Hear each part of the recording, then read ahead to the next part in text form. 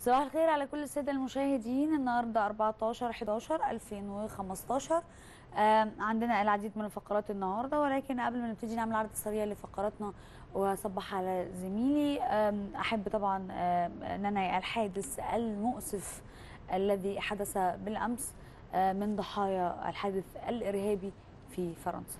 صباح الخير يا أشرف. صباح الخير يا ريم. صباح الخير على كل السادة المشاهدين. وأنا الحقيقة بحيي ريم من آه، بدأت إحنا طبعا أكيد بنبدأ بأخبار سعيدة وبنبدأ بابتسامة ولكن زي ما قال السيد رئيس الإرهاب ملوش وطن في أي حتة. ولكن بننعي دايما الشهداء في كل مكان بننعي حالات الوفيات بننعي عمليات التفجيرية اللي بتحصل غادرة. شيء مؤثر الحقيقة ولكن زي ما قلنا الإرهاب ملوش وطن. زي ما قالت ريم عندنا فقرات النهارده كتير وفقرات الحقيقة مهمة جدا جدا.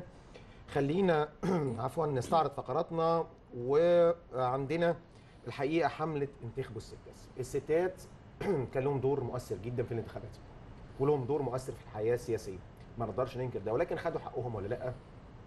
وصلوا اللي هم بيطمحوا فيه ولا لأ؟ ده اللي نعرفه النهارده مع دكتوره عزة كامل مدير مركز وسائل الاتصال اكت ومؤسس حملة انتخبوا الستات. موضوع مهم جدا. هو الحقيقة إن إحنا كان لينا دور كبير جدا في الانتخابات.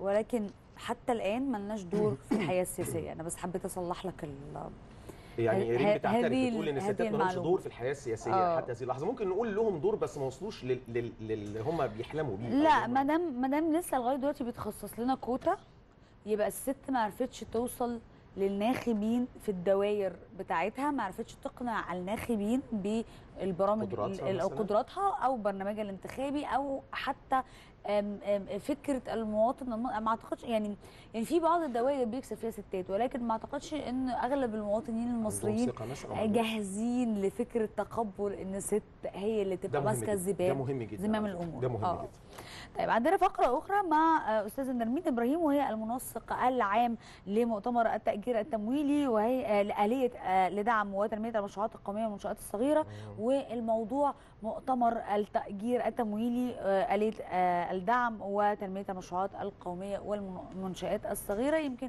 في كل حتة في العالم يا أشرف آه، في حاجة اسمها small businesses في مصر يمكن بدأ الموضوع ده يبقى موجود تاني اللي هو فكرة إنه حد عنده فكرة فكرة مشروع فيروح للبنك فيعمل تمويل للمشروعات الصغيرة ده المشروعات. الصغيرة كمان دلوقتي في بعض الدول بتنعش الاقتصاد بتاع هذه الدولة بالظبط. يعني مؤثر جدا عشان كده لسه بقول النهارده بجد فعلا الموضوعات مهمة جدا جدا النهارده طيب خلينا نروح كمان للملفات المطروحة أمام مجلس الشعب الفترة القادمة عن أي حد عن أي دايرة يعني.